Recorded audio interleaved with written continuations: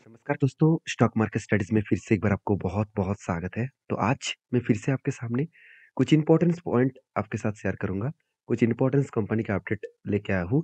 तो वीडियो को लास्ट तक ज़रूर देखिएगा और अभी तक आपने चैनल को सब्सक्राइब नहीं किया, तो ज़रूर कर लीजिएगा। कंटिन्यूअसली इन्फॉर्मेशन और अपडेट्स पाने के लिए चैनल के ऊपर बने रहिएगा। तो चलो देख लेते हैं कौन-सा कौन-सा कंपनी है इस वीडियो के अंदर। फ़र्स्ट जो कंपनी है उसका नाम है रोसारी बायोटेक। देखिए रोसारी बायोटेक आप सभी जानते हैं, इस कंपनी एक देखा जाए तो एक केमिकल सेक्टर से बिलोंग करते हैं और रोसरी बायोटेक का जो परफॉर्मेंस है वो आज थोड़ा-सा अ, मतलब पॉजिटिव तो है, थोड़ा-सा अभी भी प्रेशराइज़ है क्योंकि केमिकल का जो प्रोडक्ट का जो डिमांड है मार्केट में थोड़ा-सा कम हुआ और जिसके चलते इस कंपनी के ऊपर थोड़ा-सा प्रेशराइज़ है और अगर देखेंगे तो कंपनी का R O C R O में वीकनेस देखने को मिला। अभी देखिए पी रेशियो तो ठीक ही है, उतना ज़्यादा हाई नहीं है। अगर मैं प्रीवियस पी रेशियो के कंपेयर करूँ तो एक टाइम कंपनी का पी रेशियो चला गया था एक 90 के आसपास, 90 के आसपास और आज पी रेशियो कहाँ पे है 40 के आसपास। तो करंट पी रेशियो और एवरेज पी रेशियो में फ़र्क क्या है? एवरेज पी रेशियो निकल के आ रहा है 50 के आसपास तो इसका मतलब कंपनी अंडर वैल्यूड है। तो इस बात को आपको याद रखना है। उसके साथ-साथ कंपनी के ऊपर क्वार्टरली जो रिज़ल्ट है वो आप देखेंगे सेल्स लगातार बढ़ता हुआ देखने को मिले। इस कंपनी में सेल्स में आपको कोई भी कमियाँ देखने को नहीं मिलेगा। एक्सपेंस भी कंपनी कंट्रोल में रखे, फिर भी कंपनी प्रॉफ़िट को भी अच्छा खासा गेन किया। तो आज तक की हाइस्ट प्रॉफ़िट है। देखिए जब केमिकल सेक्टर करेक्शन मूड में है, केमिकल सेक्टर का डिमांड कम हो रहा है, तो उस टाइम में भी रोसरी बायोटेक्स कंटिन्यूसली सेल्स और प्रॉफ़िट को ग्रोथ कराते चले जा रहे हैं। तो सोचिए जब केमिकल कंपनीज़ का डिमांड फिर से बढ़ना स्टार्ट हो जाएगा, मतलब जब यूटर्न लेंगे, तब इस कंपनी का ग्रोथ कहाँ से कहाँ तक जाने का चांसेस है आप सोचिए एक बार। तो एक अलग लेवल का यहाँ पे ग्रोथ होने का चांसेस है। तो मैं ज़रूर कहूँगा इस कंपनी के ऊपर फ़ोकस रखिए क्योंकि कंपनी में दम है, मैनेजमेंट टीम बहुत स्ट्रांग है, कर्ज़ा एकदम ज़ीरो रखा, प्रमोटर के पास होल्डिंग्स भी अच्छा है, इनकम भी अच्छा खासा हो रहा है और सबसे मज़ेदार बात है इस कंपनी का बैलेंस शीट में। कंपनी के देखिए रिज़र्व लगातार बढ़ते चले गए। अभी बहुत सारे लोगों का क्वेश्चन है कि सर इस कंपनी के ऊपर कर्ज़ा क्यों इतना ज़्यादा लिया? तो पहले तो उतना ज़्यादा कर्ज़ा नहीं था। मान लेता हूँ कंपनी का कर्ज़ा बहुत कम है, फिर भी जो आठ करोड़ के आसपास, 70 करोड़ के आसपास कर्ज़ा था वो 130 करोड़ की बना? देखिए पहले आपको बता दूँ कर्ज़े के बारे में तो कर्ज़ा देखिए लॉन्ग टर्म, शॉर्ट टर्म दोनों के लिए लिया गया। 100 the uh, sorry 30 crore, 102 crore और कर्ज़ा किस लिए लिया गया वो मैं आपको बता दूँ। देखिए कंपनी का ट्रेड्स पेबल में 219 करोड़ के आसपास ट्रेड पेबल्स करना पड़ेगा। उसके साथ-साथ कंपनी को जो प्रोजेक्ट मिला वो कितना है? करीबन 414 करोड़। तो 414 करोड़ और 200 प अ, सॉरी 414 करोड़ के साथ-साथ आप अगर देखेंगे तो कंपनी का टोटल जो ट्रेड्स पेबल है 200 करोड़। तो एटलीस्ट 600 करोड़ के आसपास टोटल कंपनी के हाथ में पैसा होना चाहिए। क्या सही में है? देखिए कंपनी के हाथ में सिर्फ़ 117 करोड़ के आसपास है। तो कंपनी का जो टोटल रिक्वायरमेंट है 600 करोड़ के आसपास, तो वो रिक्वायरमेंट तो फुलफिल नहीं हो रहा है। तो जिसके चलते है कंपनी के ऊपर एक अच्छा खासा ग्रोथ आने का चांसेस दिखेगा। तो मेरे कहने का मतलब है आप समझ रहे इस सारी चीज़ों को, सारे बातों को कि कंपनी किस तरीके से अभी काम कर रहा है। तो अभी एक बात मैं बता दूँ, इस कंपनी के ऊपर फ़ोकस रखिए क्योंकि कंपनी में दम है। मैनेजमेंट के साथ-साथ इन्वेस्टर भी इस कंपनी के ऊपर निवेश रख करके रखे हैं, तो कुछ ना कुछ बड़ा होने का चांसेस भी देखने को मिल सकता है। इसीलिए लास्ट कुछ फ्यू डेज़ का इसका डिलीवरी का परसेंटेज दिखा दूँ, तो एक एवरेज लेवल का डिलीवरी आपको देखने को मिलेगा। वो कितना है? करीबन 30-40% के आसपास। कुछ इस तरीके से एवरेज लेवल का डिलीवरी आपको देखने को मिले। अभी चार्ट पैटर्न के हिसाब से बात करूँ, तो कंपनी के ऊपर एक क्या बना? शोल्डर, उसके बाद एक हेड बनने जा रहा है, उसके बाद एक शोल्डर के हेड होगा। तो shoulder cum, head cum shoulder बनने जा रहा है। तो इस शोल्डर कंप्लीट होंगे, तभी एक अच्छा खासा ट्रेड बन पाएगा। तो यहाँ पे मैं एक चीज़ बता दूँ कि shoulder cum, head cum shoulder बनने जा रहा है। तो जब तक इस तरीके से पैटर्न्स कंप्लीट ना हो, तब तक कोई ट्रेड मत लेना, क्योंकि इस तरीके से पैटर्न्स कंप्लीट होने के बाद ही एक अच्छा खासा ट्रेड मिल सकता है, और उससे पहले अगर ट्रेड लेंगे तो आप बुरी तरीके से फंस सकते हैं, क्योंकि कभी-कभी इस तरीके से टच करने के बाद ही वो रिवर्सल करके बहुत बड़ा क्रैश दिखा देते हैं। तो आप सोच रहे हैं कि अभी से मैं ट्रेड ले लूँ, तो यहाँ पे ट्रेड लेने के लिए आपको देखिए, ट्रेड तो कोई भी ले सकता है, कोई बच्चे भी ट्रेड ले सकते हैं, मगर आपको कन्फर्मेशन चाहिए कि हाँ, ट्रेड बना है, तो ही मैं ट्रेड लूँगा। तो उस तरीके से कन्फर्मेशन के लिए वेट करिए।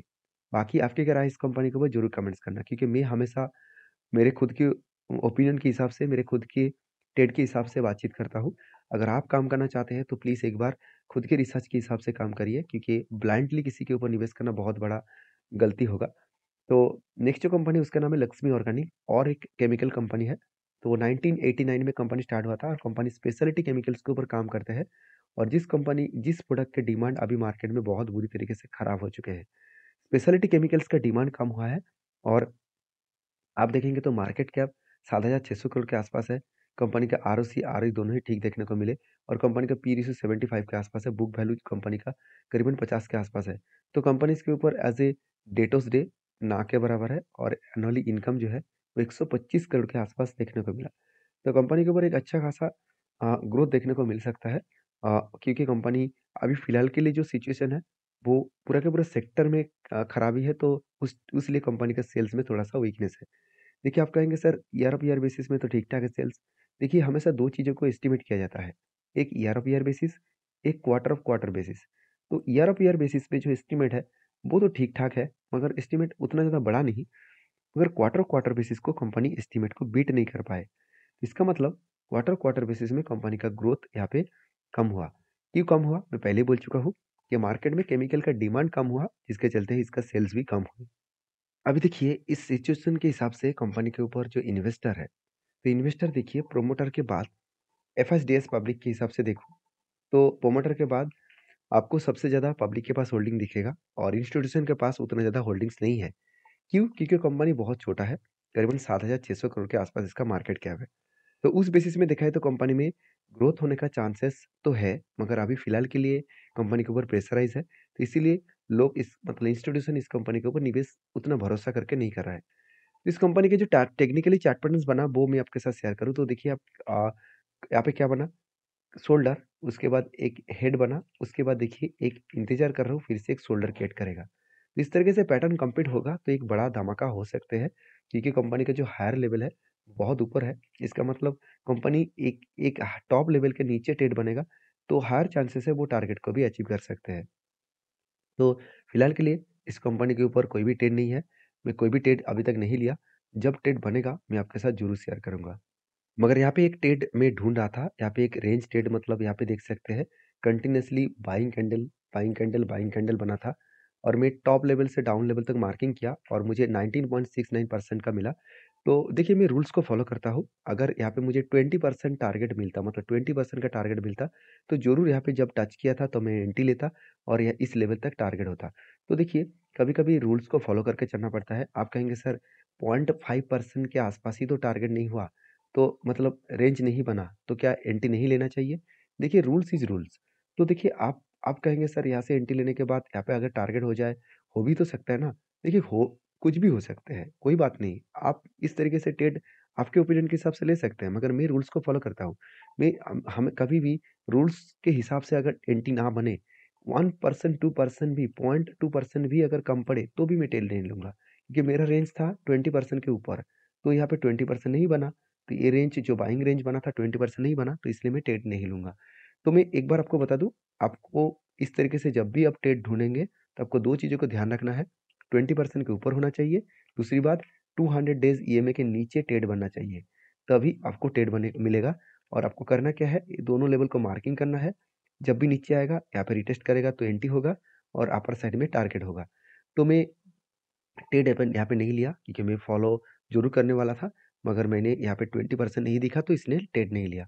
तो आप किस तरीके से रूल्स को फॉलो करके काम करते हैं, ज़रूर कमेंट्स करना। तो नेक्स्ट जो कंपनी उसका नाम है टाटा टेक्नोलॉजीज़ लिमिटेड।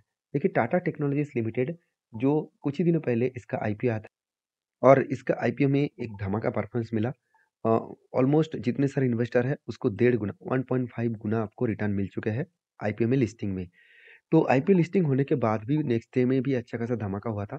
उसके बाद देखिए किस तरीके से करेक्शन हुआ, आप ध्यान से देखिएगा कि कंपनी के ऊपर एक बिग जर्नी हुआ ओपनिंग में और उसके बाद देखिए नेक्स्ट डे में ही एक बिग क्रैश देखने को मिला। अभी देखिए एक ही रेंज के ऊपर कंपनी ट्रेड कर रहा है, एक ही रेंज के ऊपर कंपनी आगे पीछे हो रहा है। तो देखिए कभी कभी ऐसे होता क्या है कि जब लोग एंट्री करके रखे, जो लोग आई मिला, जो लोग आईपीओ के बाद भी निवेश किए तो वो लोग तो निकलने के लिए तैयारी कर रहे हैं। वो एग्जिट करेंगे तो इसलिए एग्जिट हुआ तो बहुत बड़ा क्रैश हो चुके हैं। ऐसे नहीं कि कंपनी के ऊपर कुछ बिग नेगेटिविटी आ चुके हैं ऐसे कोई भी बात नहीं है। कंपनी के ऊपर जो बिज़नेस मॉडल्स है वो बहुत स्ट्रॉन्ग के हिसाब से देखने को मिला और आप सभी जानते हैं टाटा ग्रुप की कंपनी है और इसके ऊपर जो हाथ है जो बड़े इन्वेस्टर अगर मैं इन्वेस्टर के बारे में बात करूँ तो यहाँ पे शायद आपको इन्वेस्टर ना दिखे। चलो मैं एक बार आपको दिखा भी देता हूँ अगर अगर दिख गया तो। अभी तक डेटा अवेलेबल नहीं है, छोड़ दीजिए इसको। तो जो डिलीवरी का परसेंटेज है इस कंपनी के ऊपर देखिए शानदार लेवल का डिलीवरी का परसेंटेज देखने को मिला है। जितने दिनों में लिस्टिंग हुआ तब से लेकर कंपनी के ऊपर अच्छा खासा डिलीवरी का परसेंटेज देखने को मिले। और कंपनी इसके ऊपर परफॉर्मेंस किस तरीके से है, अगर कंपनी के अ, आरओसी आरओई दिखा दूँ तो बहुत बेस्ट है। और कंपनी के इनकम भी अच्छा खासा हो रहा है, प्रोमोटर के पास होल्डिंग्स भी अच्छा खासा है। और कंपनी का पी रेशियो बहुत हाई हो चुके हैं। इसका मतलब वैल्यूएशन बहुत हाई है, पी रेशियो देखा जाए तो बहुत टॉप लेवल में पहुँच चुके हैं। और कंपनी का मिड करंट पी रेशियो और कंपनी के इंडस्ट्रीज़ पी रेशियो दोनों से सेम टू सेम देखने को मिले। कंपनी का क्वार्टरली रिज़ल्ट के बारे में बात करूँ तो सेल्स में लगातार बढ़ बढ़ मतलब बढ़ता हुआ देखने को मिले सेल्स और एक्सपेंस कंपनी कंट्रोल में रखे और उस बेसिस में कंपनी का नेट प्रॉफिट 260 करोड़ से 350 करोड़ तक बन चुके हैं। तो इसका मतलब कंपनी का नेट प्रॉफिट भी ठीक-ठाक देखने को मिले। तो एज़ ए इन्वेस्टर तो इस कंपनी के ऊपर अच्छा खासा निवेश भी किया और इस कंपनी के ऊपर बैलेंस शीट के बारे में बात करूँ, तो रिज़र्व लगातार बढ़ता हुआ देखने को मिले और कर्ज़ा एकदम ना के बराबर है और फिक्स्ड एसेट भी बढ़ता हुआ देखने को मिले। तो इस कंपनी के ऊपर यही प्लस पॉइंट है और मैं पहले बोल चुका टाटा टेक्नोलॉजी सर्विसेज़ जो कंपनी है, जो टाटा मोटर्स के ऊपर ही डिपेंडेंट है, कुछ अलग कंपनीज़ के ऊपर भी काम करते हैं। तो ये टोटली टेक्नोलॉजी बेसिस कंपनी है और टाटा मोटर्स के ऊपर ही ज़्यादा से ज़्यादा काम करते हैं। तो ये एक बड़ा वीकनेस पॉइंट भी है क्योंकि टाटा मोटर्स का अगर करेक्शन होगा, तो इस कंपनी का भी करेक्शन देखने को मिल जाएगा। बाकी आप इस कंपनी के ऊपर क्या रखे हैं, ज़रूर कमेंट्स करके बताना। तो नेक्स्ट जो कंपनी है उसके बारे में चर्चा करूँ उसका नाम है के एल आर एफ़ तो के एल आर एफ़ जिसको आप कोविलपत्ती लक्ष्मी रोलर आप देख सकते हैं फ्लोर मिल्स लिमिटेड। तो इस कंपनी के बारे में बात करूँ तो कंपनी बहुत छोटा कंपनी है, एक नैनो कैप टाइप कंपनी है। तो प्लीज़ इस तरीके से कंपनी के ऊपर निवेश करने से पहले 4-4 बार सोच लेना। मेरे पास इस कंपनी का कोई भी हिस्सेदारी नहीं है और मैं कभी भी इस तरीके से कंपनी के ऊपर निवेश भी नहीं करता हूँ। और तो यहाँ पे क्वेश्चन आएगा सर तो आप इस वीडियो को क्यों लेके आए? क्योंकि बहुत सारे दोस्त कमेंट करते रहते हैं कि सर किसी भी कंपनीज़ के ऊपर अगर बोनस, स्प्लिट के कोई अपडेट है तो मुझे ज़रूर कमेंट्स करिए मतलब ज़रूर वीडियो के साथ शेयर करिए। तो इसीलिए मैं इस अपडेट आपके साथ शेयर कर रहा हूँ। बाय करना, सेल करना आपके हाथ में होगा। तो कंपनी क्या देने वाला है डिविडेंड। तो कंपनी दो रुपया करके डिविडेंड देने वाला है और वो भी 22 तारीख मिलेगा। तो एक्स्ट्रा बेनिफिट पाने के लिए इस कंपनी को वो स्टडी करिए, उसके बाद काम करिए। तो वीडियो में जानकारी अच्छा मिले तो प्लीज़ लाइक करना, दोस्तों के साथ भी शेयर करना। मिलते नेक्स्ट वीडियो में, तब तक के लिए धन्यवाद।